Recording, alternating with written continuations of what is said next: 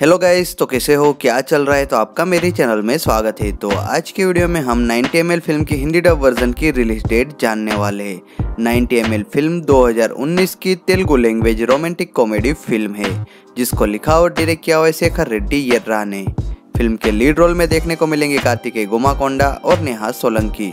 इनके अलावा रवि किशन, अजय राव, रमेश, प्रगति सत्या प्रकाश आपको सपोर्टिंग कास्ट में देखने को मिलेंगे। 90 एम फ़िल्म को आई पे पाँच पॉइंट पाँच की रेटिंग हासिल हुई है दस में से, जिसके हिंदी डब वर्जन के राइट सोल्ड आउट किए हुए सिनेकॉन मूवीज़ ने, जिन्होंने फ़िल्म की डबिंग पूरी तरह से कंप्लीट करवा ली है, वो भी सेम नाम के साथ।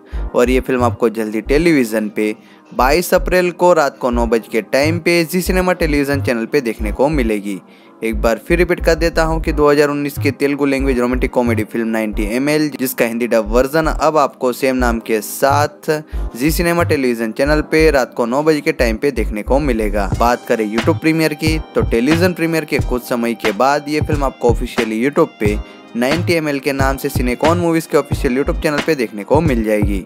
तो बस गाइज़ आज के वीडियो में इतनी ही अपडेट थी। आई होप आपको ये वीडियो पसंद आया होगा। अगर वीडियो पसंद आया तो लाइक और शेयर ज़रूर कीजिएगा। चैनल को सब्सक्राइब करना ना भूलेगा थैंक यू